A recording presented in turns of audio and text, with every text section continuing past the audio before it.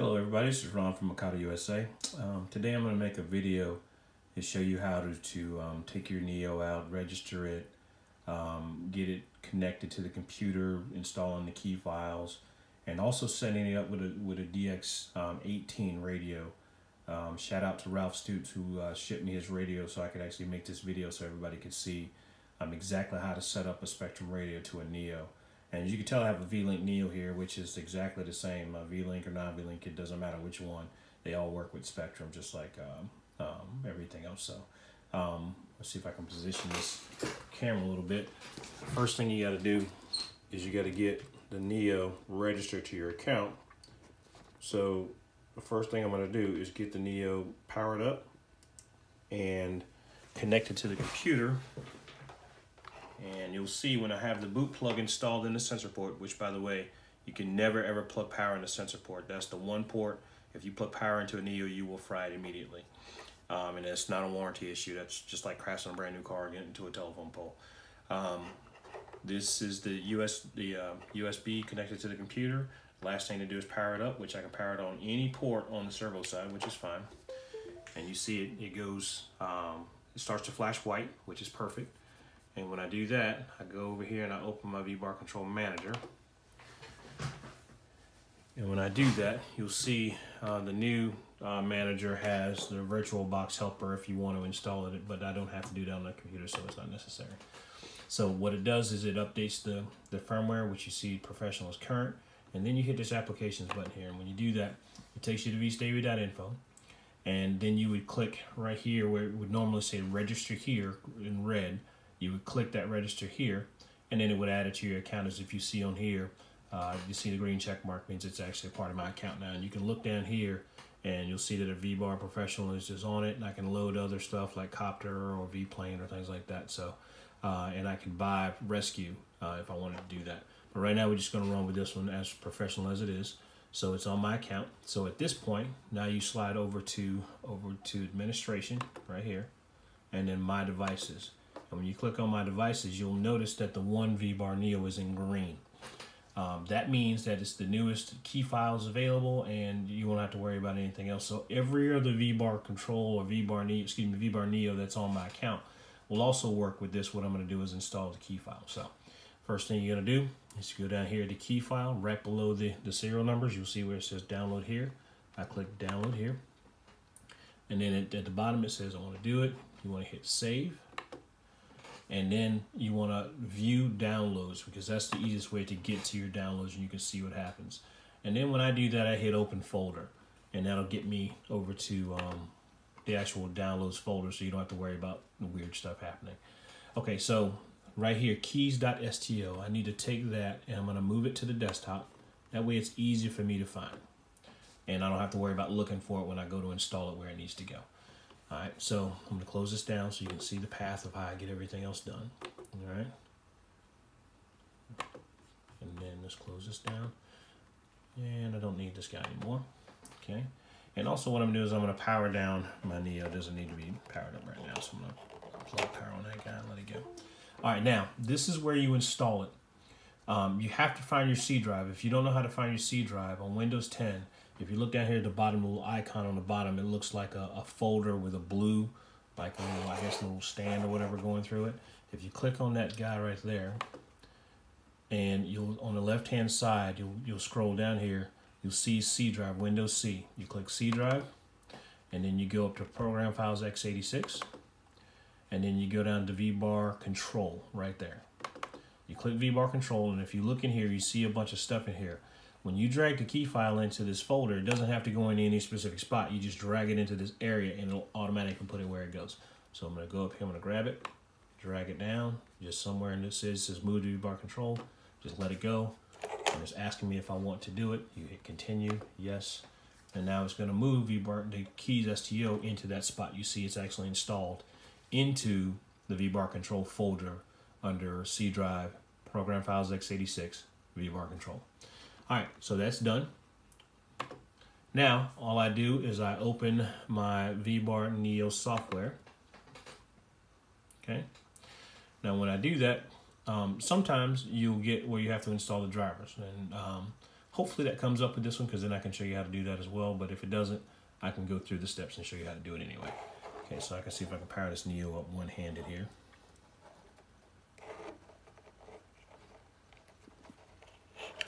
I need to take the boot plug out, first of all. Boot plug is only for when you're doing software updates um, through the VBar Control Manager. When you're trying to connect to the PC um, for the, the setup software, you do not use boot plug. Okay, let's go ahead and plug this guy up here. And when I do, you hear it dink diddy dink, but it doesn't have a connection up there, which is exactly what I expected. That means the drivers need to be installed. So I'm gonna show you how to do that too. It's actually pretty much the same thing when you when you get to the device manager show you how to do that. So when you go down here to the Windows icon on the bottom left over here, you right click that guy and device manager should be an option, which is right there. You go to device manager, you click it, and then it'll open up the computer's device manager. And the first thing you see is VBar Neo right there with a yellow triangle next to it. That means that the drivers are not installed properly. So what you do is you go up here and you right click that guy and the first option is update driver. You're gonna hit update driver. Now you have two choices. You can search automatically or browse my computer. You do not want to search automatically because it will not find it. So you hit browse my computer and then that you can tell it exactly where it's gonna go. Now right now it's already populated. It says uh, VStabi 5.3 driver, which is not where we need to go. So we're gonna change the location. So we're gonna hit this browse to the right here. Gonna hit browse and then we're going to go to the same place we were before, C drive, which is here.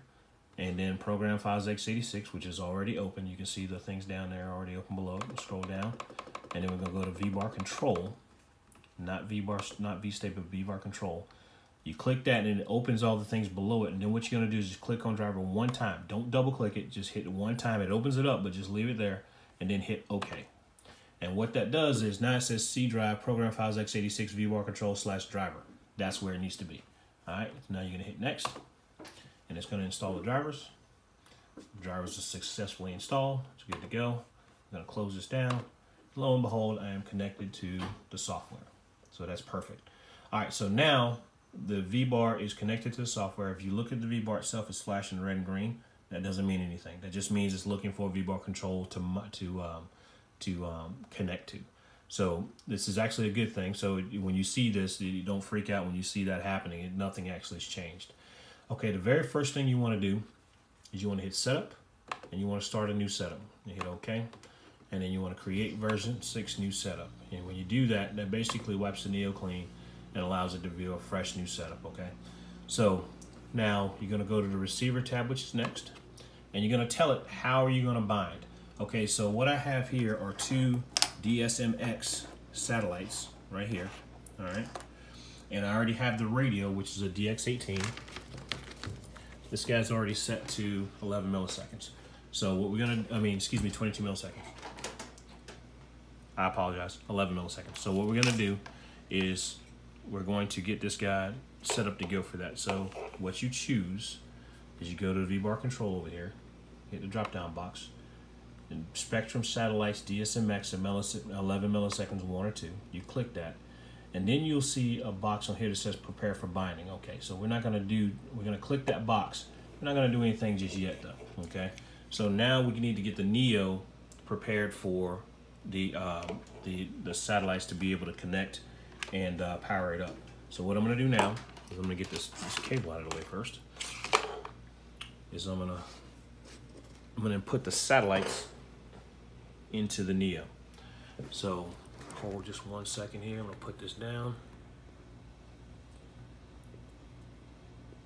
Install the satellites into the Neo. Yes, it's powered up. It doesn't matter right now because we're not doing anything. It's just sticking them in. Plug those into the side of the VR, the Neo. All right, good to go. You notice they're not doing anything. They're not flashing or anything. But once you hit that prepare binding we talked about before, that's going to allow me to go and interrupt power and then reconnect it within one second and that'll get the, the satellites flashing what I need to do in order to bind. First thing I need to do is get this radio on the model that it needs to be on because um, it has to be on the correct model in order to see it. So what we're going to do is to, it's going to select a brand new model in this radio. So I'm going to turn it on. That's kind of hard to see the screen there with that. And he also flies a different mode here. As you see, this a little different. All right, so I'm gonna go down here, go down to the, the system setup. Yes, I wanna hit that. And then I wanna hit model select, all right? I don't want any of these guys. He's got a bunch of them. You see he's got a bunch of them there. So I'm just gonna pick a new one, which is 20 heli. Click that. And then model type, I wanna make sure it's a helicopter. It is, okay.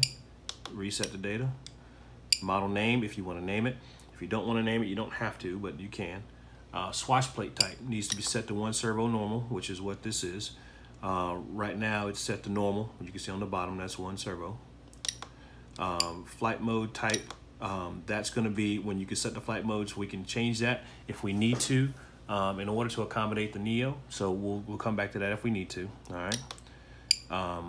Channel assignment, same thing. You can change the different channels to whatever you want them to be on the output ports. So that gives us a little flexibility as far as setting up the Neo as well. Uh, trim setups not necessary. Telemetry, um, that's not necessary. Frame rate, want to check that guy. So I was wrong. It was set to 22 milliseconds, but I chose 11. So we're going to change this guy to 11 milliseconds. All right. DSMX, X plus is inhibited. And hit list. Okay. So now you see where it says bind. Um, we're going to leave that right there for now. All right. I'm Gonna put the radio down. And then what's gonna happen is I'm gonna interrupt power on this Neo and reconnect it within a second, and that's gonna get me into the bind mode for the radio, okay? So, let's do this quick as I can. Alf, back on.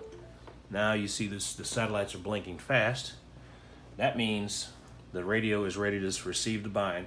And what I'm gonna do is I'm gonna put it on bind and I'm gonna move it about three feet away that way it, it doesn't interrupt with the Wi-Fi and doesn't cause any issues, all right? So I'm gonna hit bind, and I'm gonna go over here to bind, hit bind already, and I'm gonna hit it and move away. You see the satellites are blinking slowly now. They're on solid, and I am connected. All right, so now I have connected the radio to the satellites and also the V-bar, the NEO. So now I can start my, my general setup. Now the first thing you do is you check on the radio. If you look on the screen, here, let me turn the, the Neo around here. Or turn the, the screen around so you guys can see that. What you'll see is when I'm moving the sticks up and down, well, that's kind of hard with this minimal one, but you'll see the, the collective on the screen moving over there. Moving right and left, you see ailerons going. You also see the run, idle, bank, all that's going up and down, okay? So we'll get that all fixed up as well. But right now, um, gonna check your elevator, that seems to be working, and the tail's working. That's great. All right, so the default channels are working like they should. So now we're gonna go through, we're gonna set the switches to get everything to work like we want it to work, okay? So in the V-bar, what you need is basically the V-bar Neo is setting up your radio much like a V-bar control radio works. So the functions in your radio, the throttle function, the gyro function, the um, um, aux2 function in the radio, they're going to control different things in the Neo. And right now, because this is a professional, uh, just a pro um, uh, Neo, it doesn't have rescue and it doesn't have um, nitro. I don't have the nitro enable. Which, by the way, I think we should go ahead and do that so I can do one extra step and you guys can see it. So I'll skip over to Gov here and I'm to change this from ESC to nitro and then um, reset that. That way you'll, you'll see the extra channel that has to be made. Go back to the receiver tab and now you see the throttle cut is on the screen as well. Okay, so now what I'm gonna do is the first thing I do, I need to choose three functions. There's a bunch of them in the radio. The throttle curves is a function, which is awesome. Gyro function works real well. The auxiliary, like aux1, aux2, aux3s work.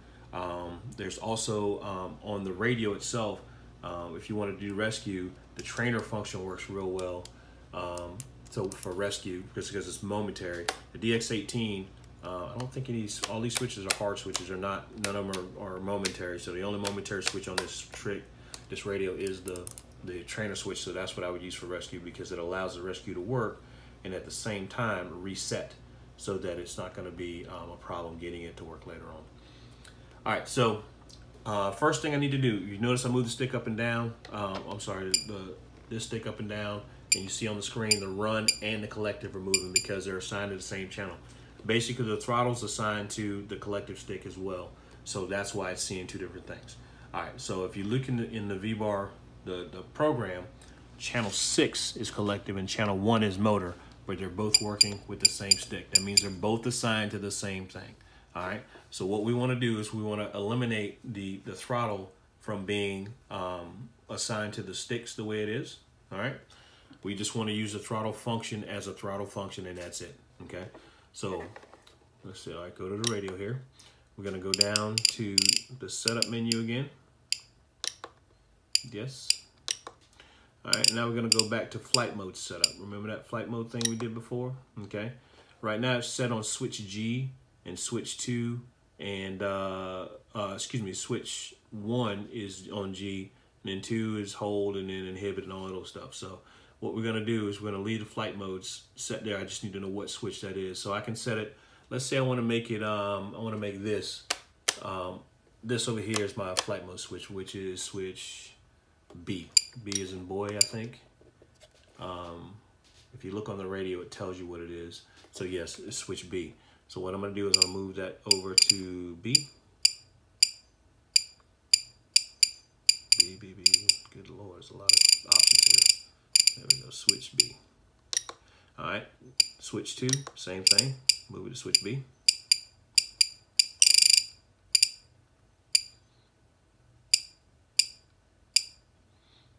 Oh, switch two for flight mode. No, I don't want to do that. I want to leave this the the only one switch. So I'm going to inhibit this. Dude, this thing gives you so many different options. All right, good. All right, so that's normal, one, two. All right, so you see the flight modes of normal, one and two. All right. So now when I when I move the when I move the stick up and down, my collective stick up and down, well, when I get out of here, it's gonna work here.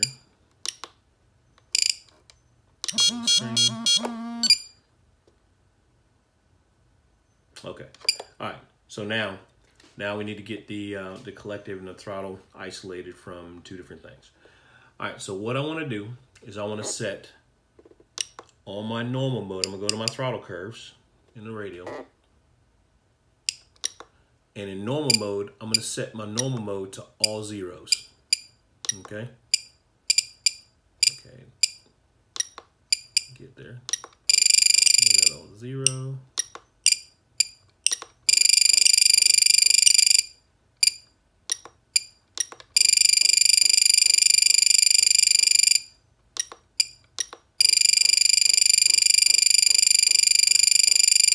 Okay, so what that does is it, it starts the, the throttle to be at zero and it allows the Neo to see three different options, okay? Normal mode is zero. I'm gonna go to mode to uh, up to uh, one, idle up one, and change that to 50% all the way across.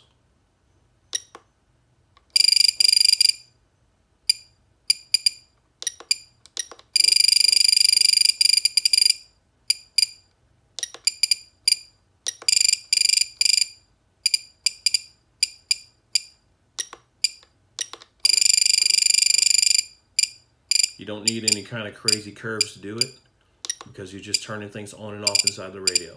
And now I want to go up to um, 2 and I want to change that to 100% all the way across.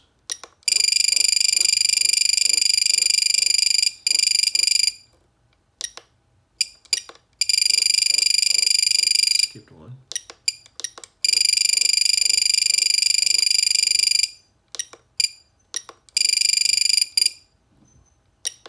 All right, so now flight mode one, two, and all those guys are set. Excellent. All right, good go. All right, so now go back to the list. Now what happens is, if you look, I'm moving my throttle stick up and down, and now it's only working the collective because I've basically taken the, the, the curves out of the, the functionality and they're only working on the switch now. So when I hit this switch, right now it's in bank one or it's in normal mode, which is motor stop, okay? Or I can I can change it from bank one to bank two to bank three. I'm gonna show you how to do that right now. If I go to idle, which is the middle position, you see right now it says bank one or idle. And if I hit this again, it goes to run. Okay, now let's say that's the motor switch right there. That's not what I want to be in my motor switch. I want that to change my head speeds. Well, that'd be the bank switch that you want to make that operate. But right now, it's only working the, the, the motor switch, right? Well, all you have to do is go into V-bar and change the channel that it's assigned to, and it'll work whatever you want. So now I'm gonna go back to the V-bar program and see that channel one right there is working. Well, bank switch is number five, so I'm gonna change that five to a one. Uh, I gotta go back here, delete, where is that? Backspace, change that to a one. Hit enter. And then I'm gonna change this one up here to a five just so I don't have two things working at the same time on that same channel.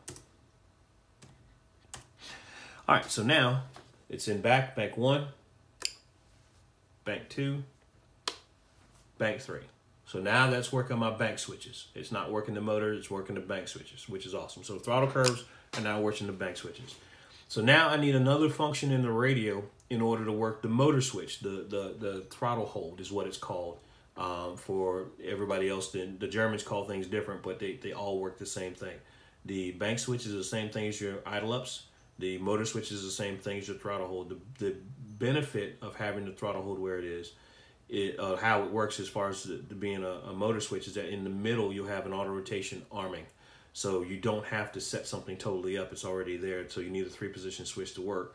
So I'm going to do this switch on the right side up here, which is looks like it's switch G. Uh-oh. All right. And now I, I'm gonna I want it to be switch G, so I need to assign a function in the radio that's going to make that switch work and give me an output on on the the the, uh, the receivers. So I'm going to choose the gyro function. Okay. So what I'm going to do is I'm going to go down here to gyro, hit enter. All right. Now I'm going to turn it on first, and I got to assign it to whatever switch it is, which is switch G, which is what I said. All right. Now what that does is gives me three positions. You see when I when I flip this switch, you see it goes from one to two to three. Okay, so those three positions are working, which is really, really, uh, really awesome how you can see that working. So what I'm gonna do is this position one, I'm gonna make it go up to where it is, and I'm gonna make it negative 100.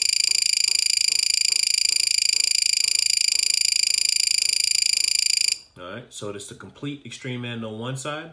I'm gonna go to the next one, and I'm gonna leave it at zero because that's the center point, and then I'm gonna go to the other one and make it positive 100.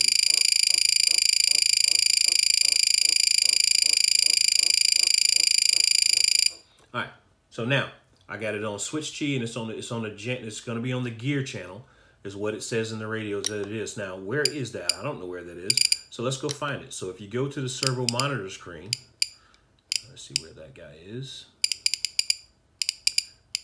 I think it's in the, the setup menu. If not, we'll go find it.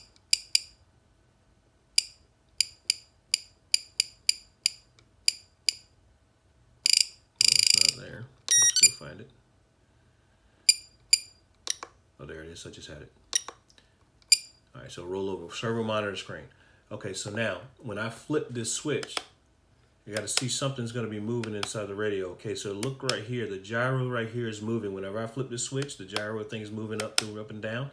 So all you do is count from left to right. One, two, three, four, five. Channel five is going to be my gyro function, okay? Now, luckily, we had already changed it to channel 5 in the radio. So if you look at the V-bar program, now when I flip this from stop from there to put to doom, now it's going from run to idle to stop in the V-bar program, if you guys can see that. See if I can turn this around a little bit more. So stop, idle, run. So I pull it to me and it's run, back is off. Now, if I want to reverse that and it's not working the way I want it to be, if it's backwards, all you have to do is go back to the, the gyro menu and at the top position change it to a positive 100 and change the bottom position to a negative 100 and that'll reverse the switch point so now instead of this being um, the stop it'll be the run and then this will be uh, stop. So it, however you want to do the same thing with the banks. You can just change the positioning of where the actual numbers are in the radio and that'll change how that works. All right last thing is throttle cut. So I need a function in the radio to work the throttle cut in the V bar okay so um, let's let's see. Let's go. What else can we find here? How about um, we'll go to let's say aux two. Um, oh no, let's let's go to auxiliary uh, one or three aux three. How about that? Because what that'll do is that'll allow you to still use the tail gain, which you see the tail gain can be control control from aux two. Um, we'll leave that. We'll make auxiliary three the um, the to operate the throttle cut. Okay, so we'll go to in the radio We've got to go up to um, adjustment menu and we need to go to the auxiliary. So let's go sub trim, reverse, speed, on balance. No, we don't need all that stuff yet. Hold on. Let's go to where it was. Aux 3. Alright, so you see that right there. You can change it up and down to however you want to adjust it. Now what I want to do is I want to make one side um, one side negative 100 and the other side positive 100. And that'll allow the um, um, the the radio uh, to send a signal to the V bar, which will tell it okay off or on. Okay. So what I need to do is I don't want to be in the travel adjust. Um, let's go. Is it absolute? No, that's something else. I don't need that. Okay, it is the travel adjust I need to be in. So let's go down to aux 3. And I need to assign that to a switch. So let's go back to the adjustment menu, or the setup menu. And we need to go down to the, oh, so you guys can't see it, I apologize. Um, we need to go down to channel assignment. And we're to change aux 3. We're to leave that on aux 3, or we can change it to where we want to put it, which which aux 3 still works out, but we need to find out what channel that is. So we'll leave it there, but we need to assign it to a switch. So let's go next. Channel output, configuration, aux 3, this is on the right knob. We're gonna change that to, let's make it um, throttle cut right here, which is switch E. So we'll, sorry, I keep getting out of focus here. Move that over to switch E. B, C, D, E, all right. So throttle cut is, uh, the auxiliary three is now on switch E. That should work that guy right there. All right, so what I'm gonna do now, I'm gonna go back to, gotta get back to the main setup. Now what I wanna do is go look at this front, the monitor screen here. Okay, so you see aux 3 is being operated. Right now, it looks like it's got aux 2 and aux 3 on one channel. It doesn't really matter because we can separate those later but we count from left to right. One, two, three, four, five, six, seven, eight. So channel eight is aux three. So in the V-bar program, we're gonna go down here. We're gonna change that one, get my mouse to work, to an eight. Well, you gotta put eight in there, not slash eight. There we go. All right, so now off, active. So that kills, the, that's the throttle kill. Now the throttle kill's working, that's off, and that's on. And if it's backwards, you go down into the, throttle, the channel adjustment. You go here, which um, I'll show you how to do that real quick. Go travel adjust for aux 3. Now it's got one side, see it says 100 and 100 there. So what we can do is we can change this to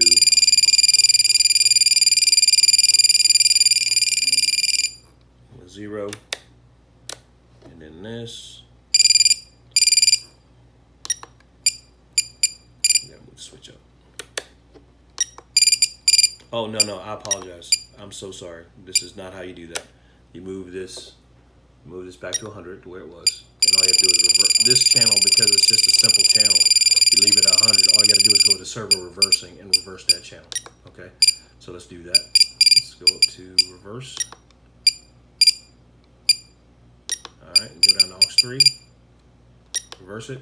So now this is off that's active. That's throttle kill, that's off. So that's how you assign it. So if you look in the V-bar program now, we got our motor switch over here, stop and run, okay? We have our bank switch over here, and we have a throttle cut right here. It's all set. So if I wanted to do the same thing with the rescue, all I would do is choose another function in the radio, which I could choose aux 2 or aux 1 or whatever, and I could actually do exactly the same thing I just did. I go in the radio, I assign it to whatever function I want it to be, and that'll make it work. Okay. So now all the switches are set, which is 90% um, of the work. Everything is done.